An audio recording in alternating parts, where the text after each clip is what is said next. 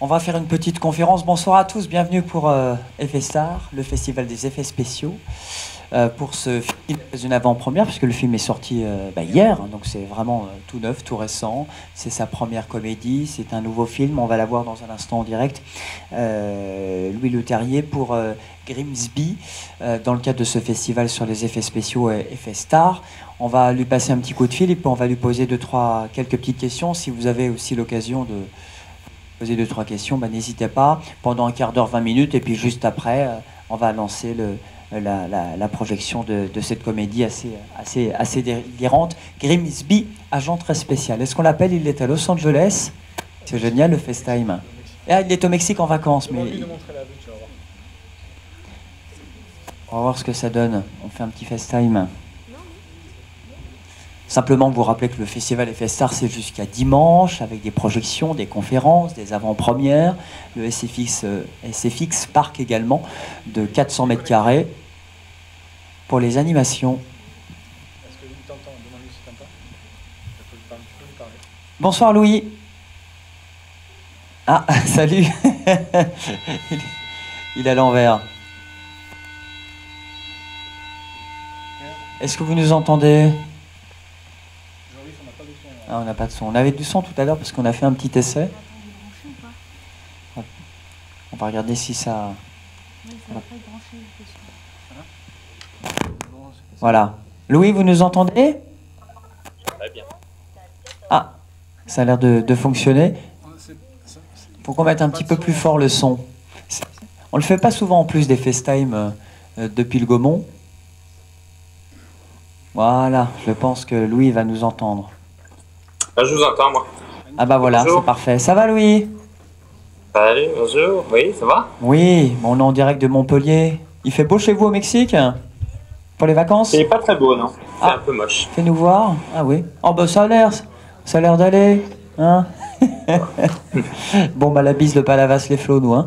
Euh, ben, en tout cas, merci d'être avec nous, euh, Louis, pour nous parler de, ce film euh, qui est sorti bah, mercredi en France, hein, donc hier, il y a quelques heures. Alors, ça s'appelle Grim, Grimsby. Aux États-Unis, ça s'appelle The Brothers Grimsby. Pourquoi pour... C'est pas le même nom euh, en fait, c'est un jeu de mots sur les frères Grimm, mais euh, ça, c'est pas un très bon jeu de mots. Le film était, le, titre n'était pas très bon. Euh, le film au départ s'appelle Grimsby. On a, le film s'est toujours appelé Grimsby. Moi, je l'appelle Grimsby. Grimsby, c'est la ville. Enfin, vous l'avez vu, c'est la ville dont, viennent. Donc, on l'a appelé Grimsby, mais chaque à chaque fois, chaque territoire a un, titre différent. En tous les cas, c'est un clin d'œil à, la retrouvaille de ces deux, ces deux frères. Euh, un joli CV aussi, euh, Louis, le transporteur, Danny the Dog, incroyable Hulk, euh, le choc des, des, titans, et cette première comédie. oui, oui, cette première comédie. J'ai toujours, j'ai toujours aimé mettre des petits, des petits, de la légèreté dans les, dans mes films, parce que j'ai toujours trouvé que justement les mais vous pouvez dans ce sens-là ou dans ce sens-là? Qu'est-ce qui est mieux pour l'écran? Pour votre écran là? Comme tout à l'heure, c'était peut-être mieux. D'accord. Comme ça, c'est mieux? D'accord. comme avant. On remet Alors, alors euh, donc oui, mis la comédie, mais voilà. Et j'ai comme ça, ça va? Ça vous va? Oui, c'est nickel. Ça vous voilà. va? D'accord, C'est très bien. Alors, euh, on voit encore mieux la, la vue derrière. Euh, d'accord. Donc, euh, donc oui, j'avais toujours mis un peu de, comédie dans mes films, mais c'est vrai que, que, de faire une véritable comédie, et puis surtout une comédie avec beaucoup d'impro, euh, d'improvisation, euh, parce que Sacha c'est le roi de l'impro, ça c'est très très différent pour moi. Je vais mettre ça comme ça, je peux poser. Voilà. donc voilà. Et sinon. pourquoi, une, pourquoi une comédie? Pourquoi être passé de. La dernière. Pourquoi la comédie Pourquoi la comédie? Parce que j'ai toujours, j'ai toujours aimé ça. Euh, euh, c'est un exercice très difficile euh, parce qu'évidemment, une blague c'est drôle la première fois qu'on la raconte et puis la deuxième fois c'est un peu moins drôle, la troisième fois on s'en fout complètement et puis après quelques années de montage, ça devient complètement très très compliqué. Donc c'est quelque chose, c'est, c'est, c'est un exercice tout à fait différent. C'est, c'est pas du tout comme les films d'action où il y a une espèce de formule à appliquer. après, on a fait manière différente chacun, mais, mais la comédie, euh, euh, il y, a, y, y, a, justement des codes à respecter, euh, des codes justement aussi à casser pour pas que, tous les films se ressemblent. et ensuite, ben, voilà, on essaye et on fait beaucoup de tests, on teste beaucoup le film. on a testé chaque semaine, on montrait le film à, un, à, à 100 personnes qui nous donnaient leur avis sur les blagues et on enregistrait les, on enregistrait les rires et donc on coupait plus ou moins. Le film est assez serré, comme vous l'avez vu, le film est assez rapide. Euh, ça, c'est justement grâce à ces, euh, euh, à ces projections test qui nous qui nous montraient qu'on pouvait couper de plus en plus court et que les gens continuaient à rire et, voilà et, comprenaient l'histoire et comprenaient les blagues. Un joli film en tout cas parce que réussi. Euh, Sacha Baron Cohen, euh, qu'on connaît bien dans, Borat notamment. Euh, comment s'est fait cette rencontre? Pourquoi lui? Pourquoi ce personnage? Même s'il fallait absolument qu'il soit là pour incarner, pour rajouter au film une belle comédie délirante. on se connaît. on, est on, est amis depuis quelques années, en fait, Sacha et moi, parce que Ayla Fisher, qui est la femme de Sacha, a joué dans Insaisissable précédent. Et donc, euh, depuis, euh, quand on tournait, donc il y a 5-6 ans, euh, Sacha était sur le plateau avec les enfants. on s'est connus comme ça, on s'est rencontrés, on s'aimait bien. Il, aimait, la manière dont je, gère un plateau. Moi, je suis suis pas très sérieux sur un plateau. Je, trouve que c'est mieux d'être que l'ambiance soit agréable et qu'on s'amuse bien sur le plateau, même si on fait des choses difficiles. Et donc il a aimé ça. Et à la fin d'Insaisissable, quand surtout Insaisissable a bien marché, euh, et, c'était, et justement Insaisissable un peu un mélange de genres. On n'avait jamais fait un film de magie, un film de magie avec un peu de comédie, un peu, un peu d'action, etc. Et, ça avait marché. donc Sacha est venu me voir en me disant j'ai un film justement de genre avec de la comédie et, j'ai besoin de quelqu'un qui a, qui a un peu fait tout. Euh, quelqu'un comme toi qui a un peu tout fait. Et donc on a fait des tests en fait. Au début, j'ai il voulait voir si, pas si moi je savais le faire, mais euh, si, si, le, si le concept marchait en fait. Donc on a fait beaucoup de tests euh, avec d'autres acteurs qui venaient de manière sympa pour nous aider. Donc on a fait un test avec Eric Bana, un test avec Clive Owen, un test avec Guy Pearce et un test avec on a fait plusieurs tests. Mais on, faisait plein de tests pour voir. Et c'était les acteurs qui étaient les copains qui étaient en ville. Et on faisait euh, des scènes. Pas la scène de l'éléphant, mais peut-être la, la, scène euh, du poison, par exemple. On l'a fait plusieurs fois pour voir si ça marchait. Est-ce qu'on peut dire, Louis, que c'est un James Bond version comique, votre film? C'était un peu le concept de départ, mais on l'a, mais un peu, on, l'a décalé un petit peu. Le concept de départ, c'était, euh, c'était et si James Bond avait un frère minable? Et c'était ça, c'était ça un peu le concept. C'était au début, ça s'appelait avant, avant le titre Grimsby, qui est, évidemment pas le titre de départ, mais on, a, appelait ça Bond's Brother. C'était ça un peu le, concept de départ. C'était et si James Bond, euh, euh l'homme le plus chic du monde, euh, un, un, un beauf comme frère? Donc c'était ça, ce qui était assez rigolo. Alors certains vont dire que c'est beaucoup d'humour, un humour plus que trash, c'est drôle, c'est rythmé, euh, c'est lourdingue. Euh, la presse parle beaucoup de ça aujourd'hui sur ces mots. Elle est gentille avec vous, hein, mais elle reconnaît que c'est lourd euh, de temps en temps. Vous l'assumez ça? Bah, c'est un peu, c'est un peu le, c'est ce que Sacha aime. C'est vrai que Sacha c'est très pipi caca, re-pipi et re-caca. Bah, d'ailleurs, Direct Matin Montpellier a dit ce matin que c'était pipi caca. Hein. Non, mais c'est ça, mais bon, c'est pas. Moi, moi, ça me fait rire, pipi caca. Ça fait. C'est. Voilà, c'est un, un peu ça, mais, euh, mais c'est. Euh, mais en même temps. Donc, il y a de ça, mais il y a euh, l'histoire un peu émouvante de deux frères qui sont perdus. De, qui se sont perdus très jeunes, qui essaient de se retrouver. Il y a les scènes d'action que j'ai essayé de tourner de manière différente. C'est-à-dire que même si c'est un film de comédie, je voulais pas que ce soit une parodie, donc je voulais que l'action soit tournée de manière très différente. Euh, donc la scène de départ est, tournée euh, vraiment différemment. Euh, on réutilise ce, ce, système après. Donc c'est pas parce que c'est une comédie que justement j'allais relâcher justement la, mise en scène. Vous êtes l'un des rares cinéastes français à réaliser des, des blockbusters finalement? oui, oui.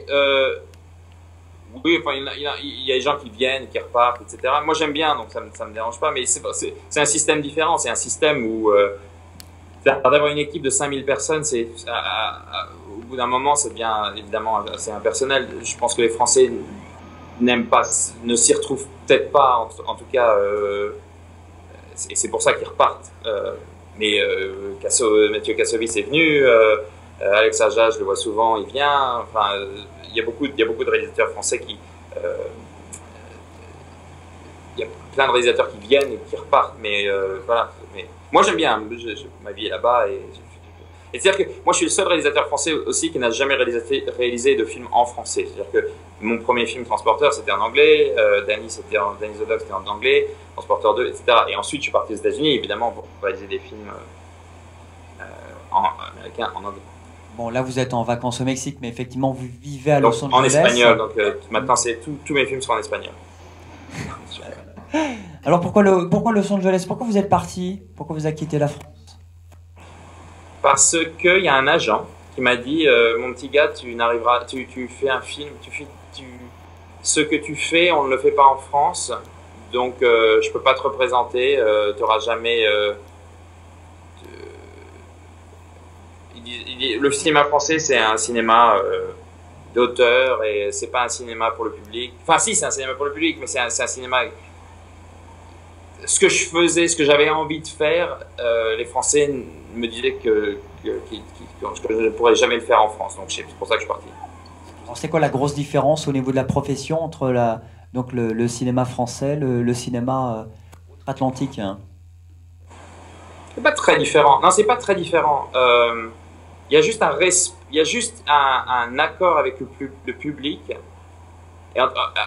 une espèce de, de, de, de de respect du public, en tout cas de, dialogue avec le public euh, aux, États-Unis qu'il n'y a pas en France.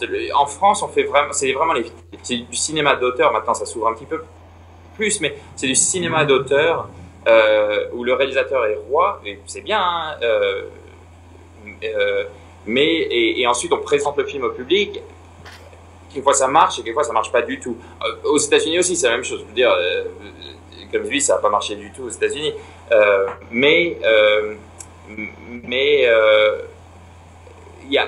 c'est assez différent. Et moi, j'aime bien, j'aime bien ça. J'aime bien monter en fonction avec le public. Et vraiment, je fais des films grand public, donc je vais pas, je, je, ne vais pas décider de faire mon film dans mon coin et de présenter et de faire voilà 150 millions d'effets visuels est-ce que ça vous plaît? Oui, non, ah non, dommage. Euh, je reviens avec un prochain. Non, non, il faut justement euh, travailler un petit peu pour le public, avec le public et faire, faire des choses très personnelles. C'est-à-dire qu'Insaisissable, c'est un film très très personnel pour moi. Et c'est un film qui n'avait jamais été fait et tout le monde disait ça, ne marchera jamais, ça ne marchera jamais, ça ne marchera jamais. Ça a bien marché. Euh, donc voilà, les risques sont les mêmes puis il y a plus d'argent évidemment. Voilà, c'est ce que j'allais dire. Il y a quand même plusieurs millions de dollars euh, de l'autre côté. Quel conseil vous donneriez justement à des étudiants en ciné, des Français? Il faut partir chez vous aux États-Unis maintenant ou on, peut encore créer en France? Non, non, non. Moi, ce que je dis souvent aux gens, c'est de rester en France et de faire un film. Euh, enfin, rester chez, soi. Moi, je, ne suis pas passé, je suis pas rentré par la porte, euh, la grande porte d'Hollywood. Hein, pour aller aux États-Unis, j'ai commencé à faire des petits films tous les tous les week-ends. Tous les week-ends, je faisais des petits courts métrages avant euh, YouTube, avant tout ça, etc. Je faisais des petits courts-métrages avec une petite caméra vidéo, mes effets visuels pourris, etc.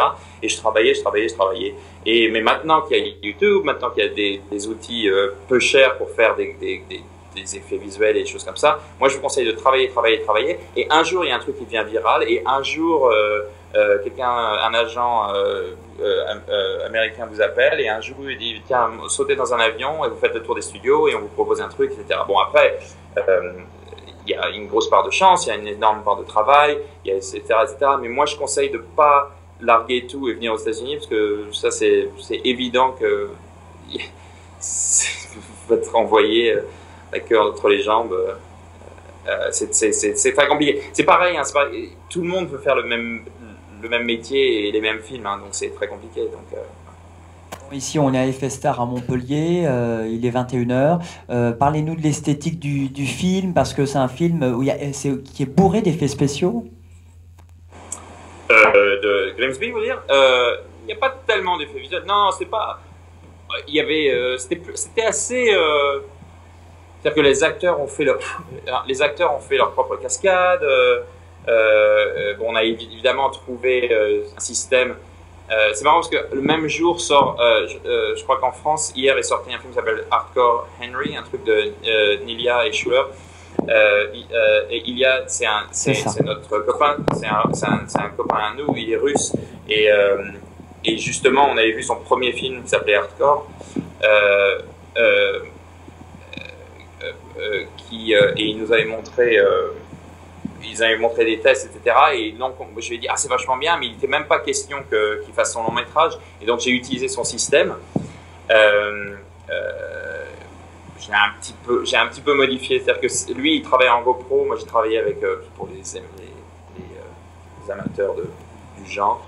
Euh, j'ai travaillé avec euh, une Lumix, un truc qui s'appelle euh, GH2, euh, et des optiques euh, 35. Mais lui, il travaillait vraiment avec une GoPro, donc il a un, truc très différent. Donc moi, j'ai fait ça. Puis ensuite, les effets, c'était, euh, on a, évidemment, les foules n'étaient pas vraies. Évidemment, euh, euh, personne ne se rentrait des feux d'artifice dans les fesses, mais évidemment, etc. Mais, euh, euh, non, non, c'était plutôt, euh, c'était drôle, c'était un film. C'était un petit film pour moi. Normalement, le film, on devait le faire en un an. On devait le faire très très rapidement entre deux films. Ça a mis plus de temps parce qu'on a eu c'est des, des problèmes des idiots de, studio. On a commencé par chez Paramount, ensuite on est chez Sony, ensuite il y a eu le hacking de Sony, vous savez avec avec euh, The Interview, donc tout le monde s'est fait virer, donc notre film était un peu. Après ils avaient peur de notre film parce que justement euh, euh, ils avaient peur que maintenant la nouvelle les nouveaux dirigeants de Sony disaient non, on fait plus, on fait plus de comédie, on fait que, enfin, on fait plus de comédie de ce genre-là, donc etc. Donc c'était un peu compliqué, donc le film avait mis plus de temps, mais c'était un film assez simple et assez petit à faire au départ. Euh, euh, on était une petite, moi, vraiment j'avais une petite équipe sur ce coup-là, mais euh, j'avais deux équipes, mais deux petites équipes. Voilà. Une dernière question, peut-être Louis, quels sont vos projets? Après Grimsby, vous êtes sur quoi? Vous faites quoi? Vous en êtes où? Euh, j'ai plusieurs trucs. Je fais l'adaptation euh, euh, d'un livre français qui s'appelle Alex de Pierre Lemaître. Je fais ça en, en 8 épisodes télé. Enfin, c'est pas télé, c'est maintenant ce qu'on appelle. Enfin, c'est 8 épisodes que je réalise. Je réalise tous les épisodes. Euh, je fais ça avec euh, les Weinstein. Euh, je fais. Je fais deux, trois. Je fais Dark Crystal. Vous de Dark Crystal de Jim Henson? Donc, je, j'ai Dark Crystal et on, va faire une espèce de d'anthologie de Dark Crystal sur 10 épisodes aussi. Enfin, c'est 10 épisodes plus un film. Tout l'univers du cristal. Donc, les 10 épisodes se passent avant le film Dark Crystal et le film se passe après, en fait. Et donc, on fait ça. Donc, euh, et ça ressemble C'est les mêmes poupées, c'est la même chose. C'est juste un petit peu amélioré. etc. Et euh, non, j'ai plusieurs, plusieurs projets, euh, ça et là. Pas de comédie, pour l'instant. On va déjà attendre. Grimsby, voir ce que ça donne. Ouais, c'est ça. Non, non, on va voir. c'est pas, mal de boulot, mais, mais en même temps, c'est pas moi ce que je- moi ce que j'aime bien faire, c'est travailler sur plusieurs projets à la fois. Ça va plus vite et, et, et on est meilleur. Ça, on laisse, on, des projets, on peut laisser un projet euh, être en post-production pour en, en préparer un autre. Voilà. Eh bien, très bien. FS Star à Montpellier, on espère euh, vous y voir un jour, peut-être Tout à fait. J'adore Montpellier, j'aimerais beaucoup. Euh, c'est quand C'est toujours à la même époque? Oui, toujours, et il fera plus beau que Mexico. hein. Oui, j'espère. C'est vraiment pourri. Merci, merci beaucoup, Louis. Tout le monde vous, vous remercie en tous les cas ici dans ce Gaumont depuis, euh, depuis la France, depuis Montpellier. Euh, pour euh, Grimsby, on va passer, donc euh, on peut l'applaudir. hein.